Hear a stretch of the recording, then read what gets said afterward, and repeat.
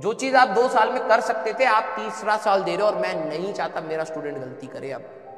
ध्यान से सुनना, ठीक है? मुझे गुस्सा पता क्यों आता है? मुझे गुस्सा इस पे आता है कि आपने, आपके पास समय खराब है, समय कम है, उसको आप खराब क्यों कर रहे हो? वैल्यू करो उस चीज़ की और पढ़ाई करो सही डायरेक्शन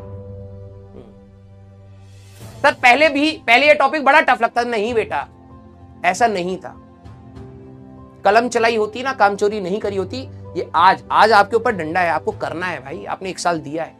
तो आज आप प्रेशर में ज़बरदस्ती अपनी पूरी इनपुट्स लगा रहे हैं तो अब आपको लग रहा है, यार, ये तो चीज़ समझी जा सकती थी। उसी एटीट्यूड को अगर आपने पिछले साल कर लिया होता ना तो आपके अंदर वो होता कि नहीं यार, ये जो चीज़ यहीं पे खत्म कर देंगे।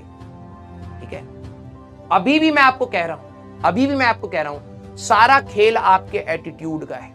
सारा खेल आपके एटीट्यूड का है, क्योंकि वही आपसे काम करवाता है। अगर आपका एटीट्यूड सही है तो आपसे लंबा काम करवाएगा। अगर आपका एटीट्यूड सही नहीं है तो स्पाइक्स में कभी मोटिवेटेड होकर पढ़ोगे कभी नहीं पढ़ोगे कभी पढ़ोगे कभी नहीं पढ़ोगे ऐसा चलेगा।